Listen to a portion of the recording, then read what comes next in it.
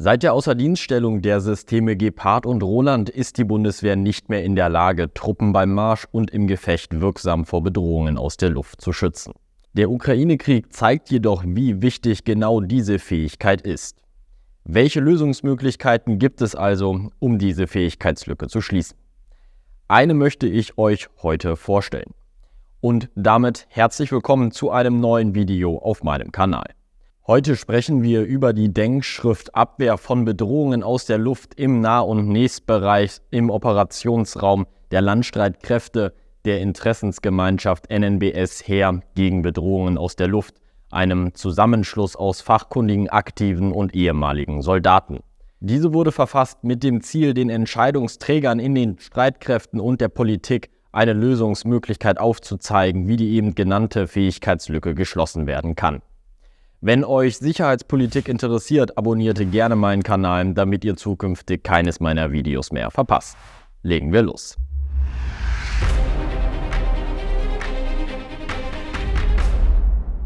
Bevor wir zum eigentlichen Konzept kommen, ein kurzer Blick auf die aktuell bestehenden und zukünftig zu erwartenden Bedrohungen aus der Luft. Bemannte Flugzeuge und Hubschrauber, welche sich im Tiefflug bewegen und ihre Waffen Wirkung entfalten können, stellen nach wie vor eine erhebliche Bedrohung für die eigenen Bodentruppen dar. Etwas neuer, dafür aber mindestens genauso gefährlich sind bewaffnete Drohnen unterschiedlicher Größe. Insbesondere Loitering Munitions, umgangssprachlich oft Kamikaze-Drohnen genannt, haben sich als äußerst effektiv im Ukraine-Krieg bewährt. Das Schreckgespenst der Zukunft sind autonome Drohnenschwärme, welche in der Lage sind, selbstständig und koordiniert Ziele zu bekämpfen. Ein Konzept, was bisher noch nicht im Einsatz beobachtet wurde, jedoch einige Staaten dran arbeiten. Auch die Bedrohung durch RAM, das steht für Raketen, Artillerie und Mörser, ist unverändert hoch und nimmt aufgrund der zunehmenden Reichweite und Präzision dieser Systeme sogar noch weiter zu. Ebenso bleiben die Bedrohungsszenarien im asymmetrischen Raum. Alle Bedrohungsarten stellen alleine oder in Kombination ein erhebliches Bedrohungspotenzial für Landstreitkräfte dar und sind in der Lage, eigenen Kräften hohe Verluste zuzufügen oder die Operationsführung nachhaltig zu stören oder zu lähmen, sodass die Siegfähigkeit und der Erfolg der Operation gefährdet sind. Allerdings muss auch verstanden werden, dass es keinen vollumfänglichen Schutz vor Bedrohungen aus der Luft geben wird. Insbesondere gegnerische Raketen, Artillerie und Mörser können bei hoher Gefechtsintensität zur Übersättigung der eigenen Flugabwehrkräfte führen womit wir zum Aufgabenspektrum der Flugabwehrkräfte des Nah- und Nächstbereichs kommen. Dieser umfasst drei Fähigkeitsfelder. Erstens Koordination der Luftraumnutzung auf Divisions- und Brigadeebene sowie im Aufklärungs- und Wirkbereich der Flugabwehrkräfte des Nah- und Nächstbereichs. Zweitens Überwachung des Luftraums im Bereich der zu schützenden Großverbände. Dieses Fähigkeitsfeld umfasst einen Beitrag zum Luftlagebild, die Überwachung von Flugbewegungen, die Warnung vor Bedrohungen aus der Luft und die Bereitstellung von Zielinformationen. Drittens Abwehr von Bedrohungen aus der Luft im Nah- und Nächstbereich im Operationsraum der zu schützenden Großverbände, sprich der Schutz von Kräften, Objekten und Räumen. Aus diesem Aufgabenspektrum und der vorangegangenen Bedrohungsanalyse leitet sich das Fähigkeitsprofil der Flugabwehrkräfte des Nah- und Nächstbereichs ab. Führungssysteme, Kommunikationssysteme, Aufklärungsmittel und das Führungs- und Waffeneinsatzsystem müssen ein höchstmögliches Maß an Interoperabilität aufweisen. Auch die Modularität der Führungs-, Aufklärungs- und Wirkmittel muss gegeben sein. Die Aufklärungsmittel müssen unter allen Wetterbedingungen zur echtzeitnahen Luftlagebilderstellung und zur Aufklärung im Tiefstflugbereich befähigt sein. Der Wirkmittelverbund muss eine Distanzfähigkeit von mindestens 10 Kilometern, eine NLOS-Fähigkeit und eine CRAM-Fähigkeit mitbringen, sowie kurze Reaktionszeiten und hohe Präzision bieten. Alle Systeme müssen gegen elektronische Gegenmaßnahmen resilient sein und eine hohe Mobilität sowie Lufttransportfähigkeit bieten. Bei der Ausgestaltung des Kräfte-, Mittel- und Strukturansatzes wird eine Rückbesinnung auf die bewährten Fähigkeiten und Strukturen der ehemaligen Heeresflugabwehrtruppe empfohlen. Als Kräfteansatz wird je ein Flugabwehrbataillon für jede schwere und mittlere Brigade des deutschen Heeres empfohlen. Insgesamt also sechs Flugabwehrbataillone. Jedes Flugabwehrbataillon soll in der Zielstruktur über einen Stab, eine Führungsunterstützungsbatterie, eine Aufklärungsbatterie und vier Kampfbatterien verfügen. Die Aufklärungsbatterien sollen aus jeweils zwei Mittelbereichssensoren und zwei Auswertefeuerleit- und Schnittstellentrupps bestehen. Die Kampfbatterien sollen über jeweils sechs Flugabwehrgruppen verfügen, dazu gleich mehr. Mit Blick auf Ausbildung, Einsatz und Kampfführung wird eine Zusammenfassung dieser Flugabwehrbataillone in einem Flugabwehrregiment empfohlen.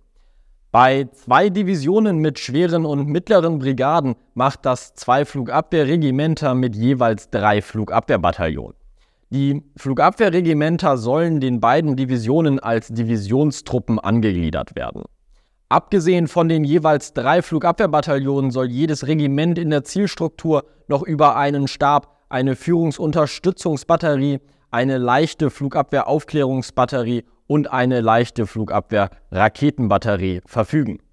Die leichten Flugabwehraufklärungsbatterien sollen jeweils aus vier Nahbereichssensoren und vier leichten Auswertefeuerleit- und Schnittstellentrupps bestehen.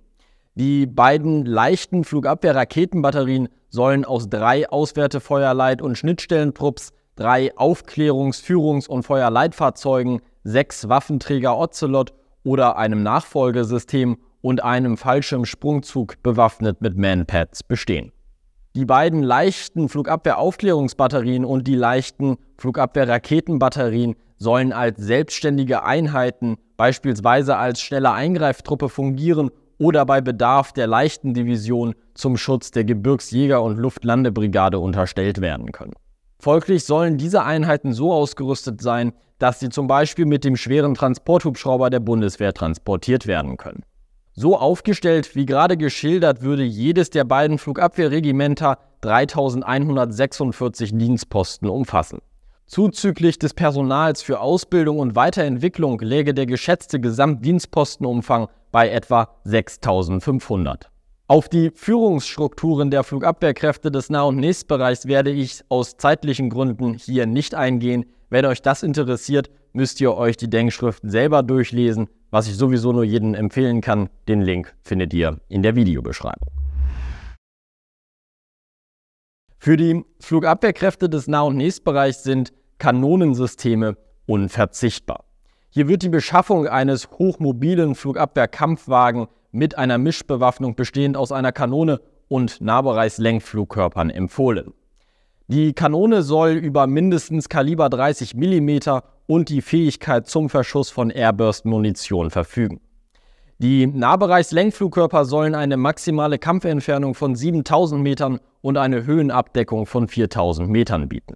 Das ganze System soll allwetterfähig, nachtkampffähig und gegen alle bekannten Arten von elektronischen und thermischen Störmaßnahmen resilient sein. Ein System, welches diesen Anforderungen sehr nahe kommt, ist der Skyranger 30 von Rheinmetall, dieser könnte wohl bereits in zweieinhalb bis drei Jahren zur Verfügung stehen, weshalb dieses System von den Verfassern auch favorisiert wird. Zu diesem System kommt in Kürze auch noch ein separates Video auf meinem Kanal.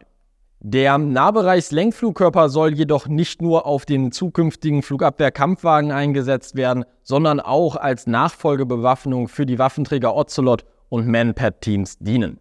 Hier wird empfohlen, das bereits marktverfügbare Manpad Mistral 3 einer näheren Betrachtung zu unterziehen.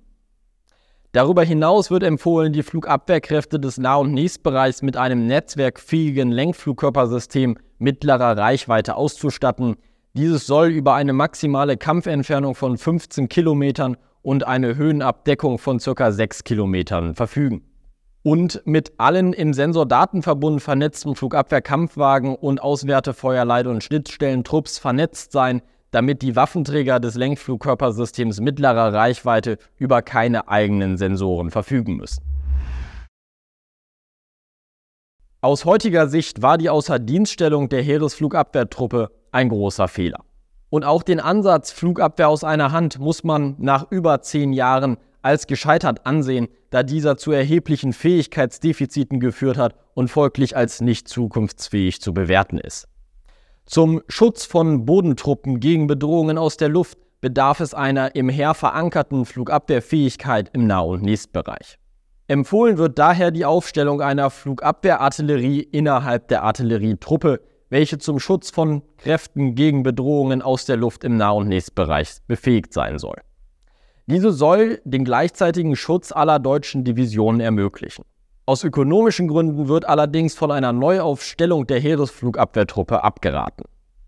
Ab dem Zeitpunkt der Entscheidung für den Aufbau einer Flugabwehrartillerie bedarf es wohl einer Aufwuchszeit von mindestens zehn Jahren, um die eben vorgestellte Zielstruktur zu erreichen.